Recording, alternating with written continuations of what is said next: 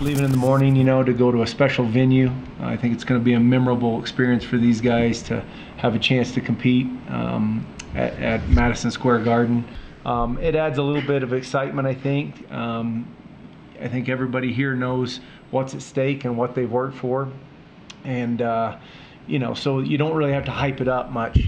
But given the fact that it is in New York City and, and it is at Madison Square Garden, um, that there, uh, I think alone probably um, raises the excitement level and just the adrenaline for these guys to go um, make this trip.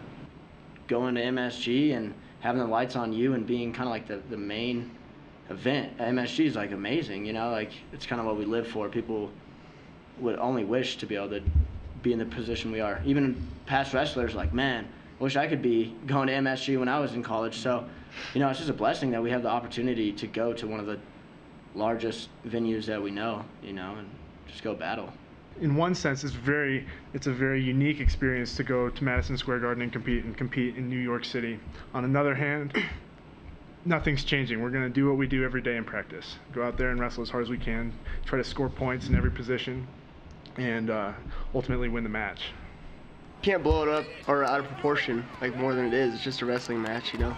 Um, but I have been uh, googling pictures of Madison Square Garden a lot this week, just like to look at it because it's kind of cool. But you can't blow it up, like you said. You know, it's just a seven minutes. It's what we've been doing our whole lives, so it's gonna be cool, but just a wrestling match, you know. We got a taste of that at the Big 12 championships, and that's what we talked about um, being an advantage of going um, into the Big 12.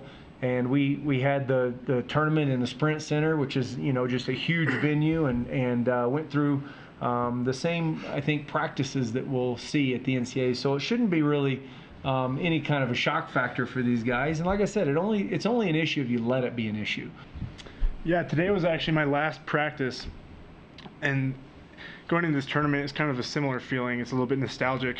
I have one more chance to wrestle. I have one chance to go and take everything I've learned through the last five years and even the last 10 or 11 years of my life that I've been wrestling, and I have one chance to go and make those things um, worthwhile. I guess worthwhile is not the right word. The whole thing has been worthwhile.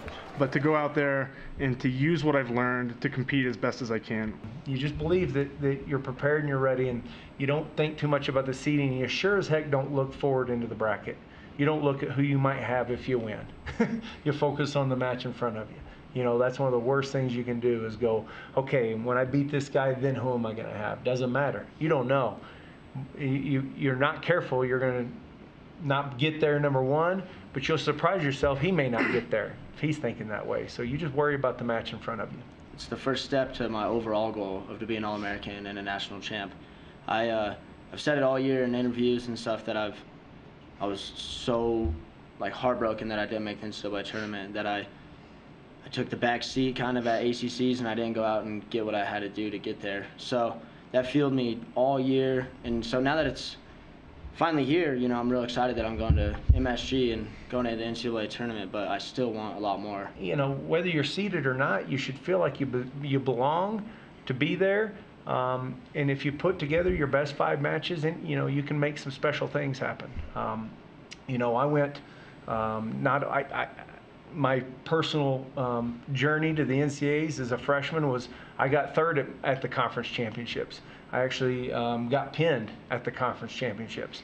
Uh, went into the tournament unseeded, had the number two seed the first match, and and and ran through and had my five best matches of, of my career right in a row. And that's what you need to make happen. Uh, kind of similar to Bryce, you know. I didn't make it last year either, and that really stung. Um, so I put in a good summer, and you know, so I've been working for since since I got put out, of, or since my season ended last year. So, um, yeah, I'm not here just to go have fun. Really, I'm here to wrestle and and uh, like make a name for myself, I guess, Madison Square Garden. So, hopefully, you get. Um, you, you get to a level that you haven't ever wrestled in your life. That's what you want to do and you say, well, how do I get there? Is it a change in our training? Yeah, we tweaked our training a little bit. But the, the biggest thing I told him after the Big 12 tournament, it's, it's, right here. It's getting focused and being prepared. And how do I go into that tournament with a with a different mindset than I've ever had? Um, so you know, you just you do that, and you you don't worry about if it's your first time or your fourth time. You go in there and and uh, you have high expectations for yourself, and and we talked about that after the Big 12s. We said, you know, if you're um, if you're going for the souvenir, you know, it's it's going to be a quick tournament for you. Um, get focused on going there for something more than the souvenir. You know, there's a there's a little plaque they give you like this that you'll hold special for the rest of your life, and that's what they need to focus on.